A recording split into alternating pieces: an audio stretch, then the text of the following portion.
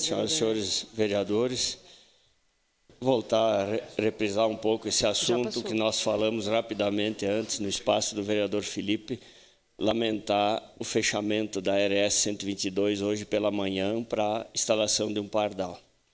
Não dá para conviver com esse tipo de situação, véspera de Natal, quem já teve caminhão e quem teve comércio sabe do sufoco que é fazer a operação logística nessa época do ano, aí tu tem que dar todo o desvio por Barbosa, Garibaldi, chega aí e encontra a pista trancada para a instalação de um pardal. Isso na cabeça do empresário, do transportador, é, é, um, é um deboche, uma afronta.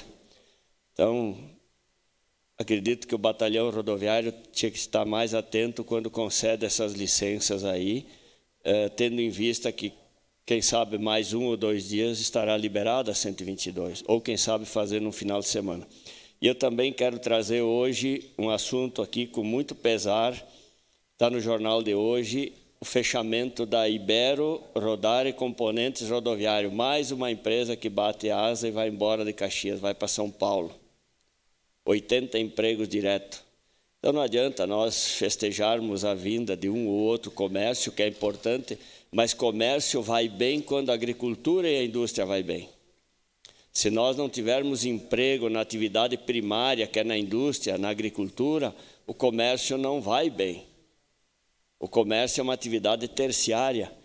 Então, esses 80 empregos de uma empresa do porte da Ibero vão fazer muita falta. Muita falta. E a gente lamenta profundamente porque faz anos que nós só estamos perdendo investidores que vão embora de Caxias. E aí a gente se depara com a intransigência da administração aí de aprovar um projeto de flexibilização dos alvará, de ajudar a Câmara de Vereadores a colocar em prática o plano diretor, ou seja, vamos puxar a frente dessa cidade, pelo amor de Deus. Nós estamos precisando gerar emprego, precisamos de oportunidade para os nossos jovens, para a população de um modo geral. Olha que triste notícia, véspera de Natal aqui, final de ano, empresa que fecha suas portas. Então, fica aí o registro e o lamento como vereador, que a gente se sente impotente, especialmente para quem foi empresário durante 46 anos e sabe quanto é difícil, depois de uma empresa ir embora, ela retornar para a nossa cidade. É muito difícil.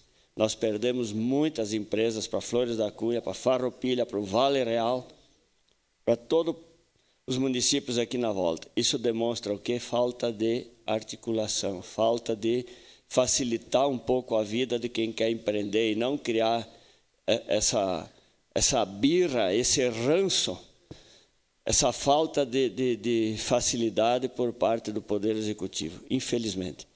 E por último, só relembrar os colegas vereadores, hoje às 14 horas, né, estão todos convidados para a gente tentar clarear um pouco mais esse assunto do caso Manha Bosco com os procuradores da família Manha Bosco. Então, na sala de NPTF, às 14 horas.